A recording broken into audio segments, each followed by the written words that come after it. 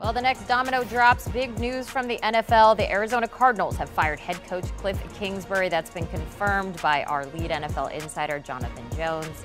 We're going to be talking to Josina Anderson about that one soon. Kingsbury, he's gone after the Cards went 4 and 13 this season and 28 37 and 1 over four seasons in Arizona. This move also comes nine months after Kingsbury signed an extension through 2027. So here's all the NFL coaches that have been fired so far this season. That list includes Lovie Smith, who led the first team eliminated from the postseason, the Houston Texans. That was hours after beating the Colts and falling out of the number one pick in the draft. They fired Smith after just one season. The Indianapolis Colts, they fired Frank Reich. Broncos let go of Nathaniel Hackett.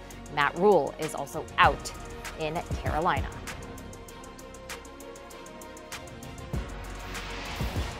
Let's welcome in our Josina Anderson straight off the plane. Now, the Arizona Cardinals fired coach Kliff Kingsbury, who just 10 months ago signed a contract extension through the 2027 season. So, Josina, how did all of this change so much in just one year?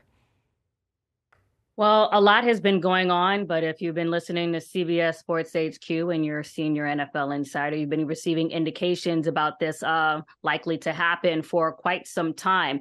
And not just uh, with regards to head coach Kliff Kingsbury, which is what came down from the news today, but also with regards to uh, uh Steve Keim. And um, even though there was notice about him taking a leave of absence due to health uh, related matters, uh, there's a bevy of circumstances kind of surrounding things that had occurred behind the scenes and uh, in relation to some of the internal matters that they were dealing with that also kind of surrounded uh, his departure as well. What kind of hung that up in the balance was just the uh, unforeseen injury to their quarterback, Kyler Murray, and whether that was going to make owner Michael Bidwill just pause with respect to having too many pieces uh, up in the air at one time.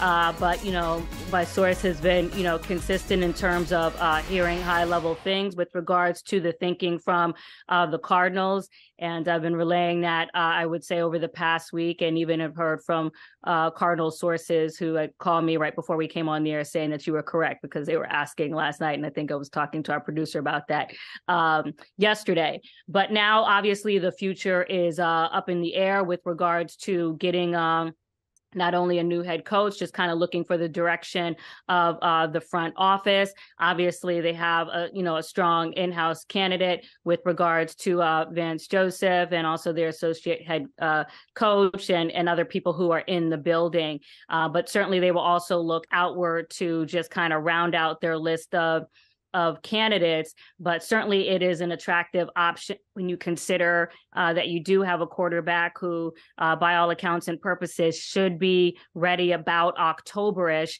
Um, and just some of the pieces that they have on offense and defense. So we do expect them to change that out with uh, free agency and JJ Watt and, and, certain pieces obviously will be be leaving. But I do expect uh, Sean Payton to take a look at this opportunity. I'd already mentioned a week, a week and a half ago uh, that my understanding was that Payton had a high affinity or has a high affinity for the Cowboys and the uh, Chargers job, uh, and also looking at the Cardinals should that become available, and that has happened today. Though I do expect Sean Payton to keep all of his options uh, available and taking all calls.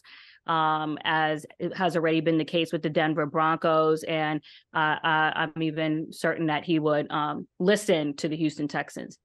You mentioned Sean Payton there just one year after stepping down as the head coach for the New Orleans Saints. Now, Josina, you've got your eyes and your ears. You are in it all. This is now the second straight year a Houston coach has lasted just one season. David Culley let go back in 2021. Now it's Lovie Smith. So, where do the Texans go from here?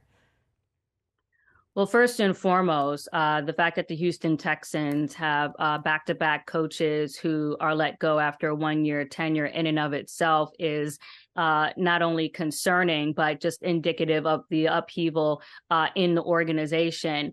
Uh, it is also my understanding, hearing before we came on the air, and also since I've been hearing over the last week, um, that the owners' uh, evaluations don't just extend to uh, the letting go of Lovie Smith, but will continue from top to bottom in that organization, including front office personnel and other staff personnel as research and background and due due diligence on that research and background are still being conducted even at this hour. So that is first and foremost.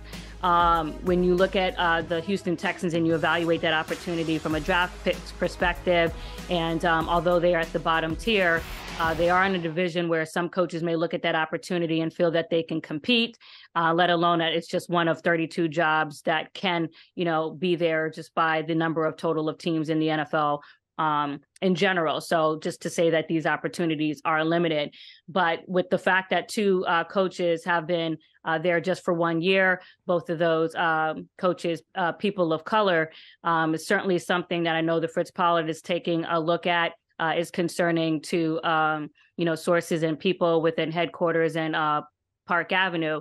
And although any job should go to uh, the best candidate, it is still notable that that has occurred.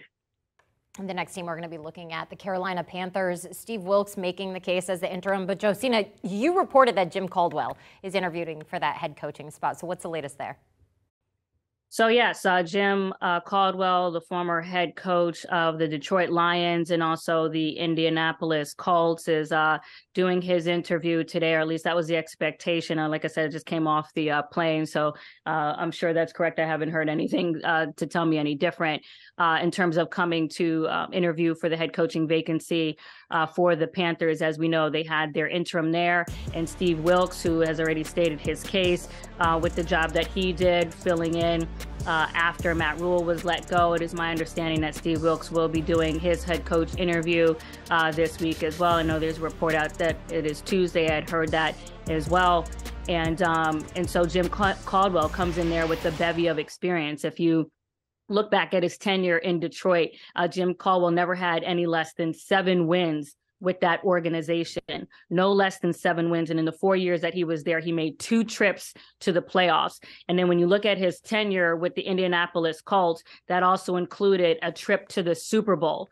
So we're looking at credentials that a lot of people would wish that they have that Caldwell already possesses. And yes, during that time has not been able to get back into the league. Uh, one of the things that has uh, been occurring behind the scenes as communications happen between representatives and the league office here in New York is that, you know, they're always kind of just going back and forth with information. Uh, one of the things that I know is one of the directives from uh, Park Avenue is to sort of beseech these uh, organizations and these clubs to really take another look at experience. When you look at the coaching carousel and what happened last year, there were a lot of coaches who got opportunities uh, who don't necessarily have.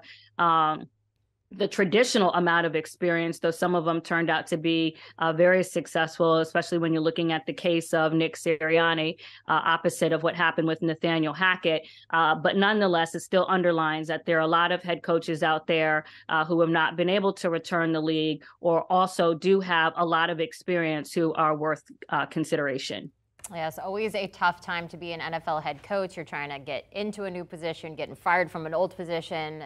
Stuff at the end of the season. The chopping block definitely doesn't hold back. Josina, thank you so much. We always appreciate all your insight, the fact that you know everything that's going on throughout the league. Now, after this weekend's action, you got to be sure to tune in to Inside the NFL. It is streaming exclusively on Paramount Plus. A brand new episode drops each and every Tuesday evening at 9:30 p.m. Eastern during the NFL season. Do you want a sports network that delivers everything that matters about the game? The highlights, the picks, the instant analysis, no yelling, no fake debates, no politics. Hit the subscribe button and never miss a moment.